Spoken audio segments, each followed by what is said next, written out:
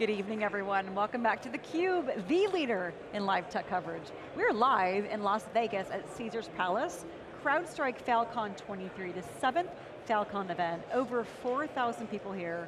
We've seen a lot of growth in the ecosystem of CrowdStrike. We're pleased to welcome Beyond Identity next. A couple of guests, Jasson Casey, CEO, Kurt Johnson, Chief Strategy Officer. Welcome, gentlemen. It's great to have you on the program. Great Thanks to be for here. Thank you. Hey guys. Jasson, start us off. Give us an overview of Beyond Identity. Who are you guys?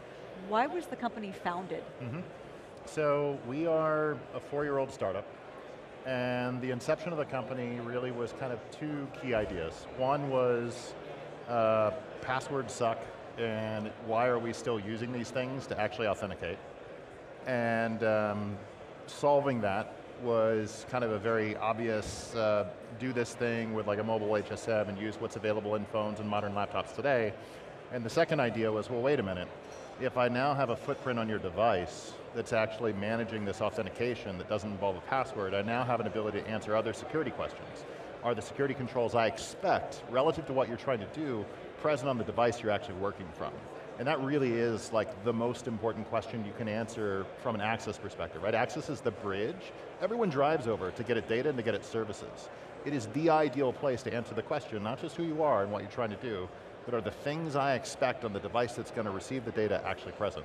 That was the original impetus. That was four years ago. Fast forward today, we're, uh, we've got more than 100 employees. We've got um, uh, uh, now I'm actually remembering who can I actually talk about and not talk about. We have a, a, a lot of paying customers. Um, some of the big ones you can see on our website. Um, but yeah, this is the use case we saw. Kurt, talk to us about the strategy that you've employed and how the partner ecosystem is really a catalyst for that. Yeah, it's, it's been a critical aspect of our strategy from the beginning is bringing in the partner ecosystem to Jasson's point, how can we provide the highest level of assurance, not just on who is gaining access, but what is gaining access? And while our application does that very well, it was built to design to tie into the identity ecosystem that was already in place at these companies. They've made investments in identity provider and single sign-on solutions for years, um, and to how do we enhance that and lay, add a layer of security on top of that? Because as we've seen in the news lately, a lot of the identity aspects are you know, identity management started as really an administrative task to make it easier for people to get applications, get access to them, not necessarily secure them. So tying into that ecosystem, but the reality today is we've seen the requirement of organizations investing heavily in their security ecosystem, a lot around detect and response. So almost the philosophy and the idea is we expect somebody's going to get in, so now let's find it as quickly as possible and prevent any kind of actions what we were thinking is how do you take all of that rich signals, that rich data, and bring it to the point when you want it most, which is when somebody's gaining access. So we really built out the platform to tie into products like CrowdStrike that can read risk signals on the endpoint and make authentication decisions about them, with partners like Zscaler to make that a continuous process. Because the other big aspect of our strategy is that we're calling it zero trust authentication. First, eliminate the passwords first and foremost, make authentication phishing resistant, pulling in the device signals as Jasson just mentioned, but then tying in through third-party integrations the rest, as many risk signals as we can to make a true determination at that point of authentication that you know exactly who and what is gaining access. So passwords do suck. We all hate them. Um, but what sucks worse is the user experience, yeah. right, across, because we have application creep. I mean, there was the day you're like, oh wow, cool app. Now you're like, uh, another app. Did you download the event app? Uh, no, I haven't. Um, and I'm not going to. so, but the ones that we really use are vital. You know, our, our airline apps, they're critical. And, and we constantly going through lost password, going through the questions that we can't remember the answer to, update the app, close it, you know, re reinstall it. And so what's needed, I mean, I wonder from, you know, if this is even feasible, a horizontal platform that we can bring across the industry and have a common user experience. I mean, it's, I know the big internet companies have tried to do that with single sign-on, but that doesn't work either, and there's a feature rich, or lack of feature richness, so is that the objective, to create that horizontal user experience, and is that even feasible? So, so yes, and it kind of starts with two key observations, at least from a security perspective. Um, if you're the average company, 80% of your security incidents have to do with some sort of access compromise. And the two large buckets that mostly contribute to access compromise, credential theft, right? And the second, it's a little bit more technical sounding called uh, um, signing full exploits. Maybe you've heard of them like man in the middle, man in the browser yep. attacks, those mm -hmm. sorts of things. The easiest way of solving um, uh, credential theft is what if you could ensure a credential couldn't move? Uh, turns out modern hardware now comes with these things called enclaves. They're tiny little processors, they're not in your CPU. You can create a credential in the enclave with a property that it can't move. Can't move, it's never in memory. It's never in memory, can't be dumped to the file, can never leave the system, never goes through the internet, never touches any of these third parties. So if it doesn't move, you can't steal it. The second category, how do I guarantee that I can't actually interdict the, the authentication? The weakness of passwords, the weakness of TOTP, the weakness of Microsoft Number Match Authenticator, the weakness of push notification, they all require a human to execute the protocol on the client side, right? It's a machine on the server side. Humans have error rates, right? Maybe some are worse than others, but we all have error rates. Um, why can't we mechanize the client side of the protocol? And like the simplest way I can put that is when you go to a site you dump your password in, right, traditionally, or you put your TOTP code in, it's kind of on you to know, is this the legitimate site? And yeah, your company's going to have a bunch of controls trying to screen this out, trying to screen that out, but they're going to have error rates too, right? It's a probabilistic problem. Doesn't have to be, right? The challenge can be part of the protocol. The challenge can include who the challenger is.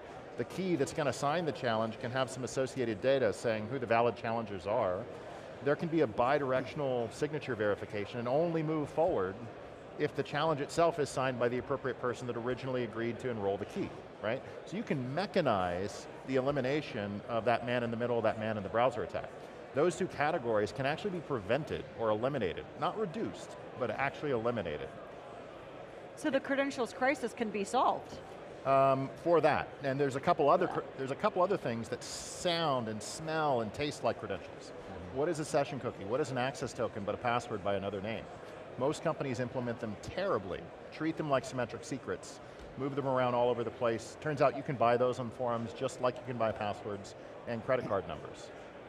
That can be solved using the same mechanics as well. So our mission, we're a security company solving identity problem. We don't really believe identity companies solve security problems. We believe they solve productivity problems, maybe create security problems. Mm -hmm. Um, mm, and we think it takes a principled approach to really kind of get there. It's and so true. I mean, what you're saying, go ahead. I was just going to add, Dave, I mean, to your point, the, the system we created into, you know, when passwords just became the way to do it, then we had to layer on multi-factor authentication. Somehow we created a process and a system that made it increasingly difficult for the good guy, the end user, to gain access, while making it increasingly easy for the adversary to do it. So we, we created this misbalance here, and Oops. you know, we, we often say, it, you know, you don't need to break in anymore, you just log in. And, and so that is how we've come to accept the fact that we can train that away. I mean, we train people that smoking's bad for you, but I don't know if you walk through the casino, it's not eliminated. so like we need to shift this, to Jay's point, anytime the human's involved in the equation, we've added friction, yeah and we've also increased vulnerability because unfortunately, humans are going to do something wrong at some point in time. What's your vision of a passwordless future? Is that a direction we're going in? Uh, no credential of any type should ever move. Whether it's a password, whether it's a session cookie, whether it's an access token, whether it's an SSH key, whether it's a GPG key, like all credentials should never move. they don't move, they can't be stolen credential usage should always be guarded by policy. As much of that policy that can be baked into something called trusted computing should be, and that's just a fancy way of saying there's, there, there's, a, there's a hardware proof that what I expect is happening is happening. There's a log that gets created that I can always validate offline and see if something went wrong, and my only real assumptions in this whole process is that the foundry at Infineon hasn't been compromised, right?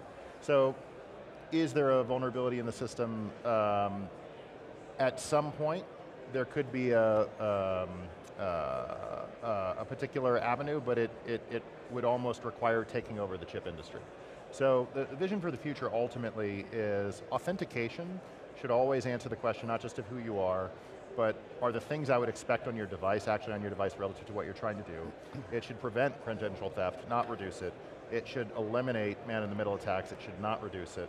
It should be easy on the end user, and it should be easy on the administrator. Writing policy to be really restrictive on people that cause problems versus permissive on people that don't is, is a, another key part of the equation. So, you know, part of what we've been saying forever, it's changing the way that the world logs in. We know there's a few billion passwords out there, so it'll take a little time, but we've really made it our direction. We do this for the workforce, for employees and the applications they log into each and every day.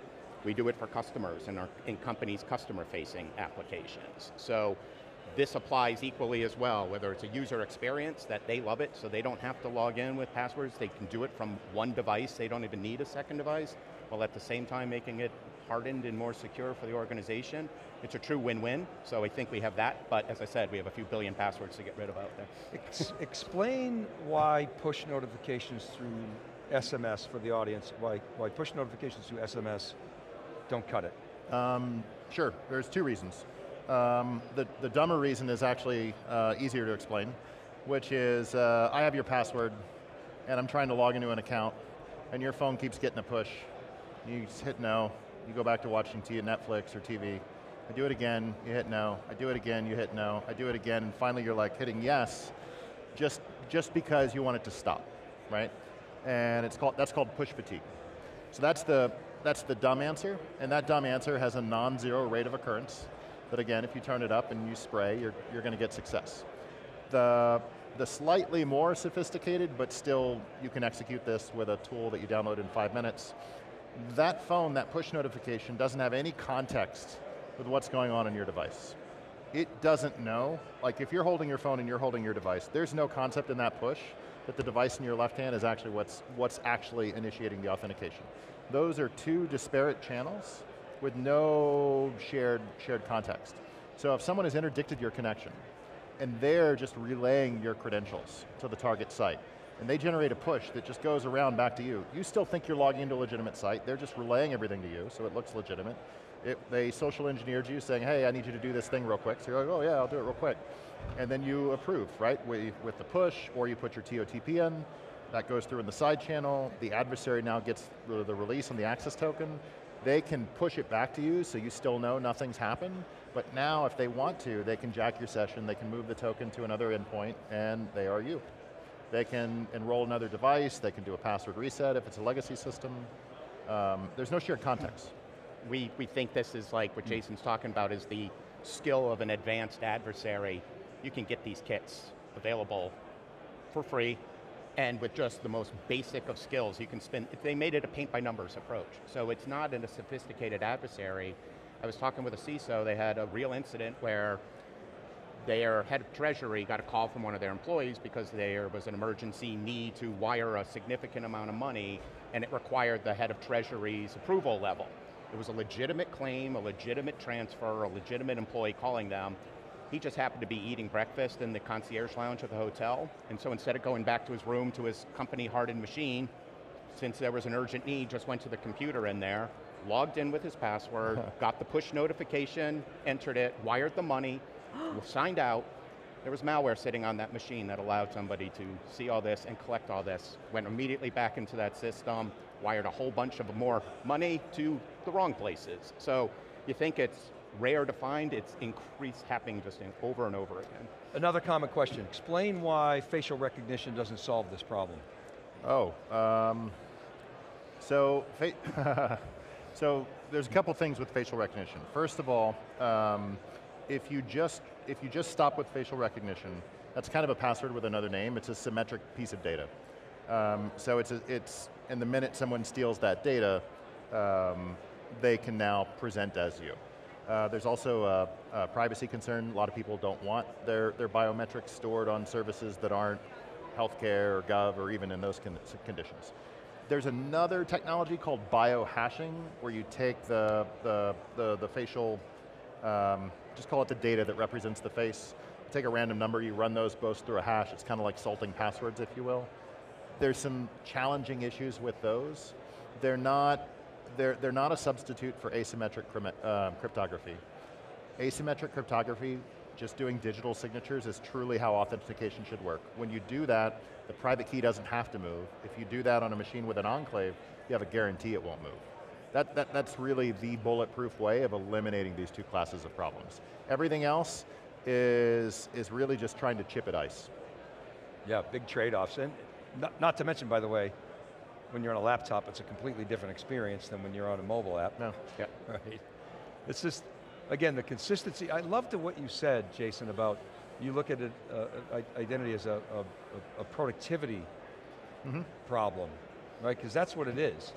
We waste so much time, we get so frustrated, frustrated and it leads to mistakes um, that, we, that we make because you just you know, push on the wrong, wrong button. So, how do we get to that point where the user experience is that nirvana that you're envisioning? Well, I mean, obviously we want the answer to be call us. Okay. Um, but if you're not going to do that, um, you, what you need, you need an authentication system um, that's based on digital signatures, asymmetric crypto, that's actually leveraging the enclaves that exist in all three of these devices on the desk. Mm -hmm almost any device that you can buy is going to have an enclave. Even the cloud providers now provide enclaves in their virtual machines, right? Yes, Amazon right. calls it Nitro. Yep. So you need an authentication solution that uses those. It also needs to do something called phish resistance. That's the man-in-the-middle prevention. Mm -hmm. uh, NIST gives it this really simple name. They call it verifier impersonation resistance. Um, but, but it's a thing. So you need a solution that does those two things, delivered by a company that cares about user experience. And okay. I think that's why so, like passwordless has become a very popular thing. You went to the RSA conference, you had a Black Hat, you see it on every booth. Yeah. Over, where it starts and stops the similarities is that takes the password away from a user experience. Doesn't take it away from an adversary who can uh. use it, doesn't take it out of that sequence. So yes, user experience, critically important, but it needs to be combined with all the other aspects. Which is architecture that takes advantage of these capabilities so that credentials aren't moving. Yeah. I mean, that's the bottom so line. Just that's to, what I've learned To here. double on what he just said, if you go search for passwordless, you're going to find 300 vendors. Um, login through email magic link is technically considered passwordless. What we're talking about here is like actual secure yeah. authentication that has a great user experience. Bit different. I'm sorry, go ahead. No, that's- That's it, a great point. Yeah. But yep. again, it gets back to architecture and yes, actually yes. taking advantage of modern capabilities. First principles, first, it, it absolutely yeah. comes back to first principles, mm -hmm. right? For 10 years, so it's, it's like the blessing and the curse. Um, uh, 10 years ago, when this all got started, the yeah. best we could hope for was great forensic tools that let us respond quickly.